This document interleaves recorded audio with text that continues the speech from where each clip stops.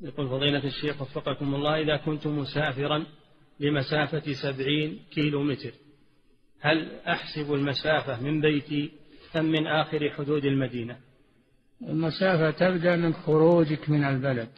ما دمت في البلد ما بعد صار سفر إلى الآن. السفر يبدأ من خروجك من البلد. نعم. والسبعين لا تكفي في السفر. أقل من مرحلتين. نعم.